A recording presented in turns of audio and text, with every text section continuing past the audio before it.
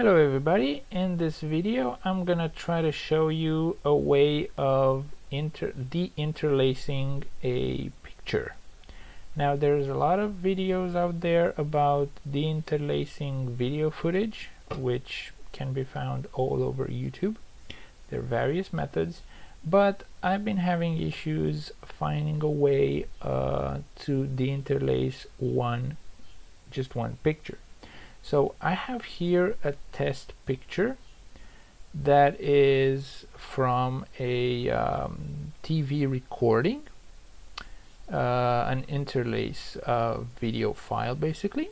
And as you can see, uh, this screenshot uh, has what it's called on the internet mice teeth, which looks like this basically. Um, so when you get a screenshot with uh, certain players not all video players get um, these kind of screenshots. Some some video players um, just uh, deinterlace the um, the picture automatically but some of them just uh, give you this uh, kind of screenshot this kind of picture from the video which looks like this so it's very annoying now, I've seen uh, some time ago uh, a tutorial uh, about the interlacing picture with um, the software called GIMP.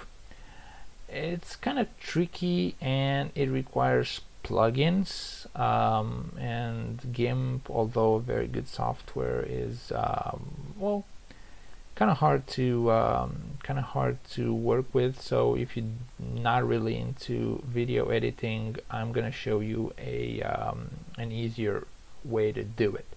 So this is the picture and looks like this and we need to make it look um, de-interlaced okay?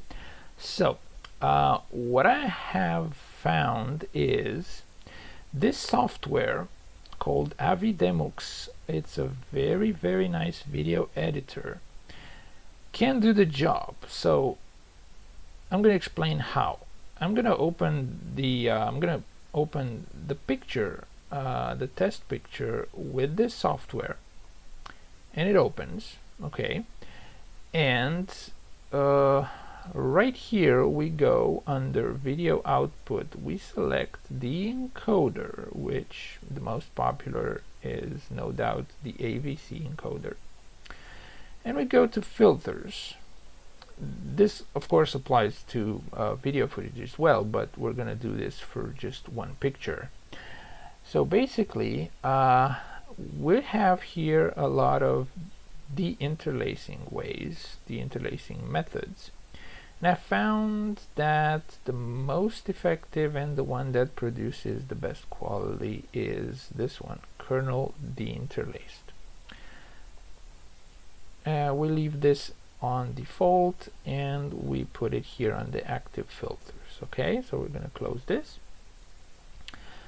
And we're simply going to save, we're not going to bother for audio because we don't have any audio on the picture. So we're to leave everything as it is and we're going to save. It's going to save as you can see as an MKV format which is a video format but this way is going to be comprised of only one picture. So we have this interlaced test picture, the same video, uh, the same um, name as MKV. We're going to put the interlaced. And we're going to save. And now we're going to close this. This is the file. Now if I open it with uh, media player classic you can already see the difference. Now to, to save this as a video as a picture sorry my uh, photo viewer also sees videos. So if you go with this option here, save as picture, it is going to save it in picture format. So the software is FastStone Image Viewer for my viewer, my photo viewer, and Avidemux for the tool that may, gets the job done. Okay, so I'm going to show you the difference now. I'm going to delete the MKV file because we don't need it. So basically, the interlaced picture, the one that we worked on, is the one that I showed you early.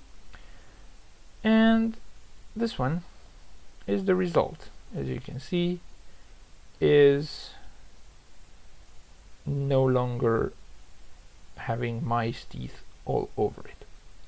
Of course, the test that I'm uh, working on right now is a uh, an HD video um, source that included uh, uh some recording from 1990 but you can see the difference and you can see the result and I guess this is the purpose of the video so thank you so much for watching. I hope this um, this is useful for you. I'm going to leave the um, the links for the two tools that I've used in this video in the video description and hope you enjoyed it and find it useful. Thank you very much